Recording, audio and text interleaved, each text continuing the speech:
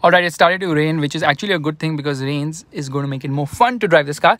Now, the gauge cluster, actually it's called as the instrument cluster, is very nice, easy to read, of course, and clear too. However, this infotainment system is super duper awesome. Now, it has wade sensing, basically a camera which actually is able to tell you how deep have you gone and how deep you can still go. 700 mm of wading capacity. That's a lot. Right now that's what it's showing me.